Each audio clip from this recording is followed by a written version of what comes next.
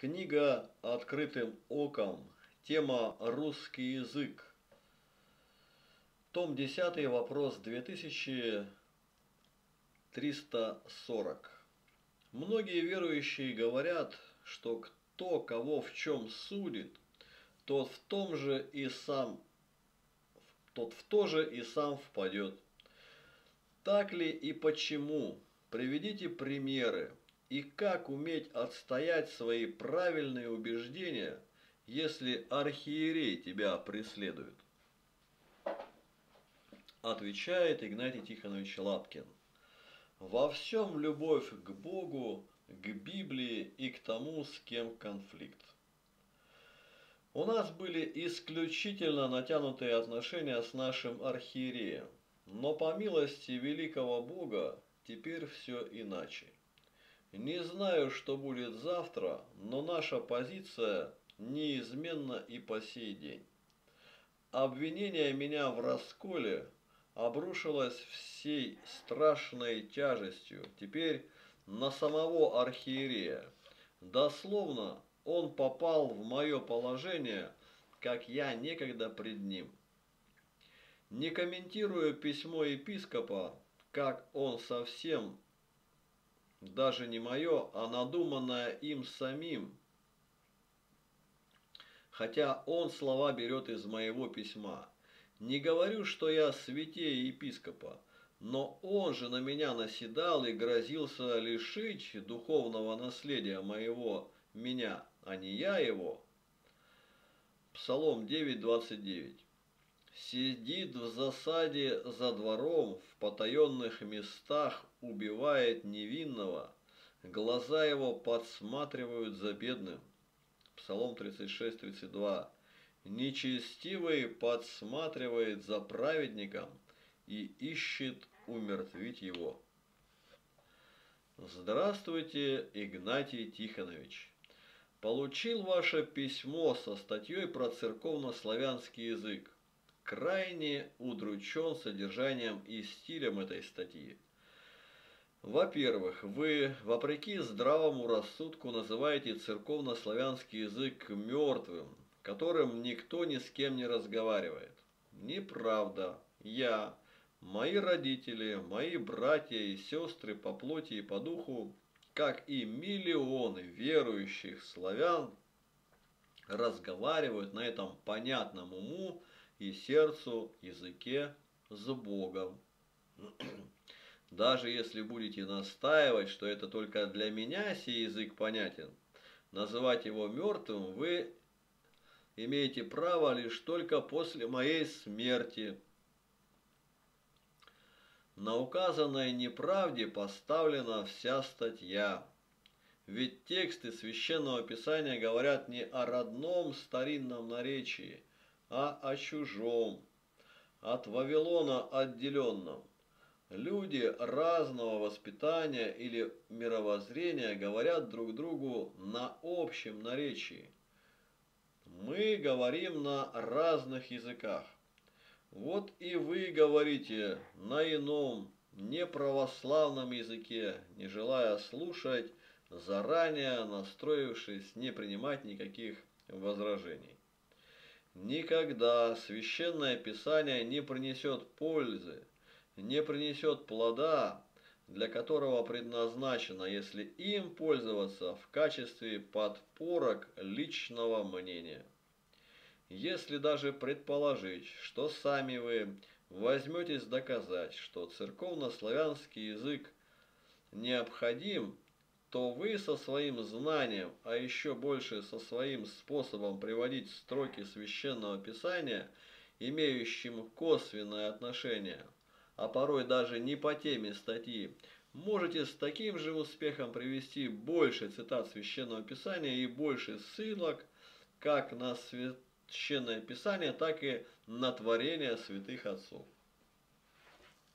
Увлекаясь доказательством своего мнения – вы даже не соизволили уделить внимание тому, что сами подводите читателя к противоположному логическому выводу. Вы говорите, что в переводах священного писания еретики действовали намного успешнее и благоразумнее православных. Но где же плоды этих успешных действий? Где добрые плоды православных церквей, в которых богослужение не один десяток лет ведется на их современном разговорном наречии?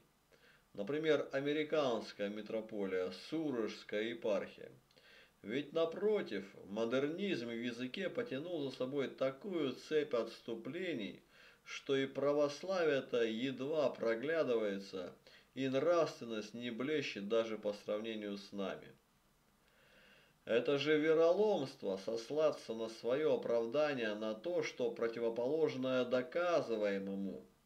Одно из самых важных свойств священного писания, а именно его сокровенность, невозможность познания, изучения рациональным способом вами полностью проигнорировано.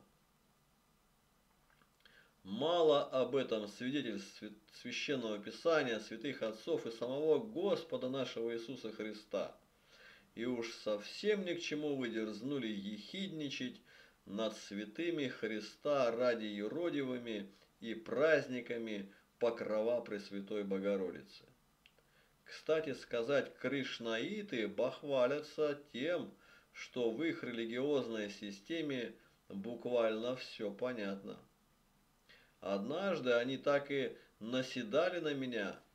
Вот у нас все понятно, значит истина у нас. В угоду своим амбициям вы всех нас, ревнителей церковно-славянского языка, обвиняете в пьянстве и алчности, в желании скрывать от народа Слово Божие.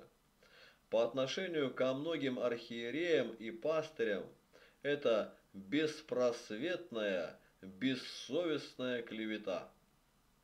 Так может писать лишь тот, кто хочет порвать с церковью или и, и не просто уйти, а громоподобно хлопнув дверью.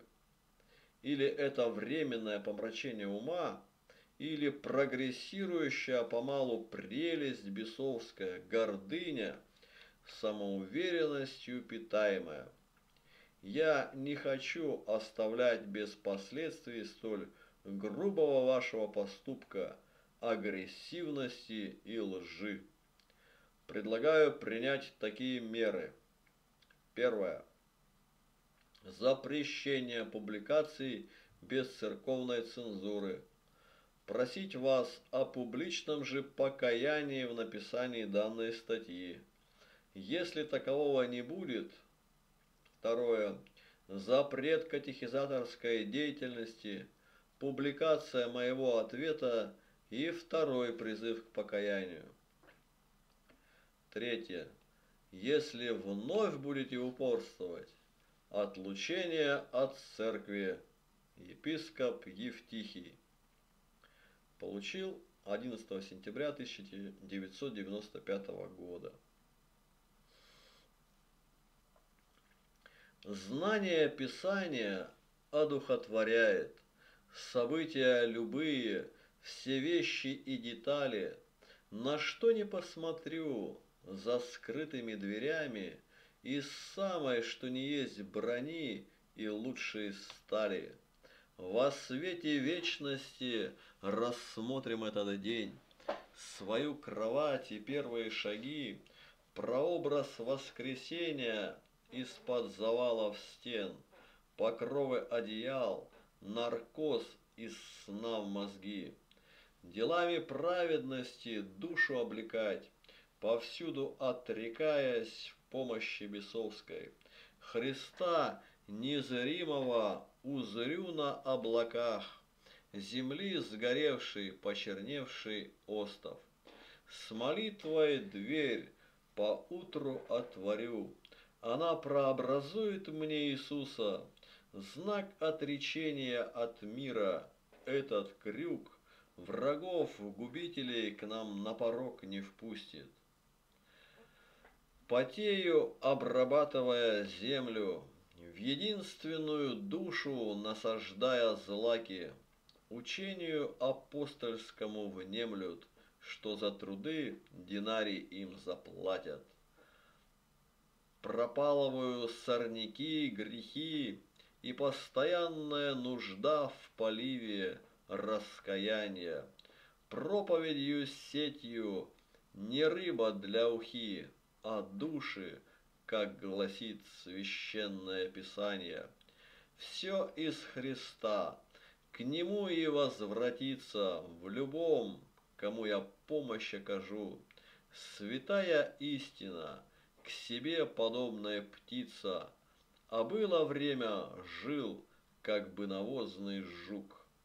Дорога пыльная, политики шумиха, помылся, покаянием очистил согрешения, и Бога ощутил в движении ветра тихом. Вот ястреб ловит голубя, душа моя мишенью. Необразимые, необозримые вокруг учителя сопровождают сонного в постель могилу. Нам руки женщины не сладость, а петля. В сердцах Сбербанки стих накопит силу. 2 октября 2004 год. Игнатий Лапкин.